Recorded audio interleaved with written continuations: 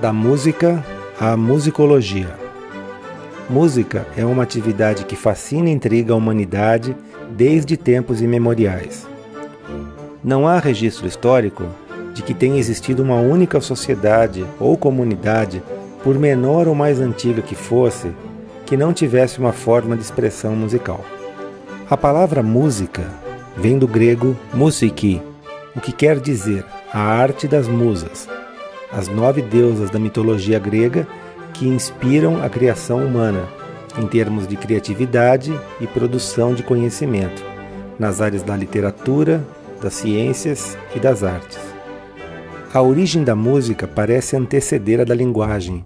Existem evidências arqueológicas de que os nossos antepassados desenvolveram primeiro a capacidade de se comunicar por interjeições, ou seja, sonoridades com regularidades rítmicas e tonais, como aquelas encontradas na música, antes de desenvolverem a capacidade de abstração mental necessária para a atribuição dos significados semânticos a sons particulares, para nomes, objetos e ações específicas de onde se desenvolveu a linguagem. Existem relatos de comunidades que não desenvolveram conceitos básicos, como a noção da duração do tempo, formas de contagem de objetos ou seres, nomes para diferentes cores, ou mesmo um conceito religioso ou mitológico que explicassem as suas origens. No entanto, estes sempre apresentam música e linguagem. Este é o caso dos Pirahãs, um povo indígena brasileiro que habita as terras de Humaitá, no Amazonas. Os Pirahãs não sabem contar, distinguir cores ou sequer acreditam em divindades, mas apresentam uma linguagem tonal, pela qual eles se comunicam falando, cantando ou até mesmo assobiando. Música, assim como linguagem, é uma comunicação sonora no entanto, estas cumprem funções bastante distintas. Música, apesar de eventualmente conter um certo grau de significado, normalmente não apresenta um conteúdo semântico complexo, como é o caso da linguagem. De um modo geral, as músicas que são espontaneamente geradas pelas comunidades costumam expressar conteúdos emocionais e afetivos, estando muitas vezes ligados a rituais, cerimônias ou até a determinados estados de espírito. A linguagem apresenta a função de entendimento do mundo através da categorização de sons referentes a objetos, ações e atributos. Tanto música quanto linguagem se valem da modulação sonora de regularidades rítmicas, tonais e de intensidade para compreender e expressar o mundo e a mente humana. Música e linguagem são assim irmanadas e até compartilham as mesmas regiões cerebrais durante o seu processamento. Ambas são atividades exclusivas e ubiquamente humanas, e são formas de comunicação sonora que transmitem conceitos distintos, porém igualmente relevantes, tanto para o indivíduo quanto para a sua interação comunitária.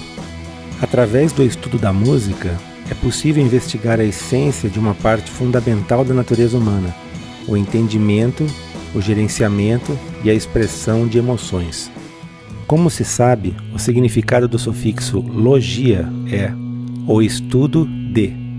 Aplicando esse sufixo à palavra música, tem-se o termo musicologia, que significa, em linhas gerais, o estudo da música em todas as suas formas, expressões, aplicações, perspectivas e objetivos. Assim, entendemos aqui que musicologia é o termo geral que se refere a todos os tipos de pesquisa em música, desde a sua composição e performance até a sua apreciação.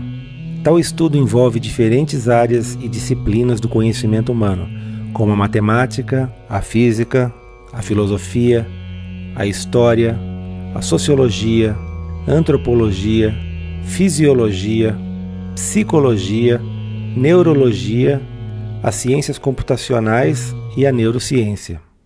As maiores vertentes da musicologia são musicologia histórica, etnomusicologia, teoria musical e musicologia sistemática.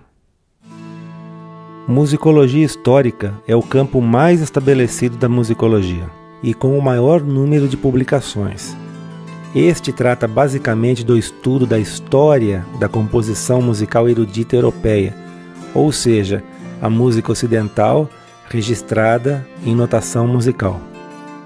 Acredita-se que a origem da musicologia histórica ocorreu no século XVIII, com a publicação do livro História della Música, de padre Giovanni Battista Martini.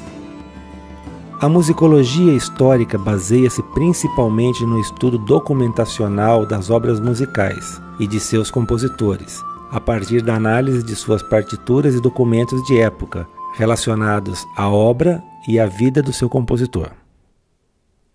A etnomusicologia originou-se no final do século XIX, com o surgimento da gravação sonora o que permitiu pela primeira vez o registro fonográfico e o consequente estudo da música que não era registrada na forma de notação musical, como é o caso das músicas folclóricas, populares, indígenas, de alguns povos não ocidentais ou de povos e comunidades sem métodos ou tradições do registro notacional de sua expressão musical. O termo etnomusicologia vem de duas palavras de origem grega etnos, que significa povo ou nação estrangeira, e música. O termo foi cunhado pelo pesquisador e músico holandês Jaap Kunst.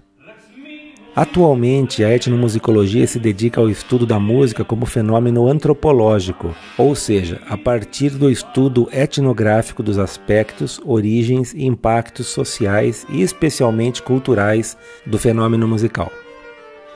Deste modo, a etnomusicologia concentra-se especialmente no estudo da música como patrimônio cultural imaterial.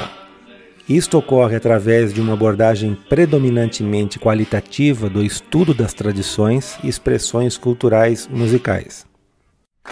A teoria musical trata do estudo dos métodos e práticas que permitem aos compositores e produtores musicais criarem obras melhores, de modo mais eficiente e coerente dentro de uma determinada perspectiva estética vigente ou atrelada a um estilo, gênero, arranjo, época, localidade, necessidade mercadológica ou ideológica. Sua abordagem é predominantemente empírica, ou seja, baseia-se na experiência musical do teórico e engloba disciplinas diversas, como a matemática, a acústica, a percepção musical e a semiótica. A musicologia sistemática é o termo que se refere ao estudo empírico, sistemático e, portanto, fortemente quantitativo da origem, natureza e apreciação do fenômeno musical. Alguns estudiosos argumentam que a origem da musicologia sistemática vem da Grécia Antiga, tendo suas raízes nos estudos de Pitágoras, Platão, Aristóteles e Aristóxeno. No entanto, o termo só foi cunhado no final do século XIX por Guido Adler, que nos moldes de outras disciplinas da época, no caso o direito e a teologia, propôs uma divisão similar ao estudo da música entre duas grandes disciplinas: a musicologia histórica e a musicologia sistemática, sendo que esta última se dedicaria exclusivamente a descobrir e a estudar as leis fundamentais que regem a criação, a expressão e a apreciação musical. A musicologia sistemática é a área da musicologia que apresenta maior interdisciplinaridade, ou seja, a cooperação entre diversas áreas do conhecimento humano para o estudo da música. A musicologia sistemática trata da pesquisa empírica, baseada na análise de dados, do fenômeno musical como um todo, envolvendo as mais diversas disciplinas, tais como a acústica, a fisiologia, a psicologia, computação, estatística e neurociência. Futuramente falarei com mais detalhes a respeito destas áreas da musicologia. Minha intenção aqui foi apresentar um panorama geral da musicologia, tentando deixar claro como a pesquisa em música parece mesmo ser uma área inesgotável de investigação. A essência imaterial da expressão musical é fortemente atrelada ao tempo, porém vagamente vinculada ao espaço. o que confere um aspecto inefável a esta arte que expressa e exprime o âmago da experiência humana na sua forma mais profunda e definitiva.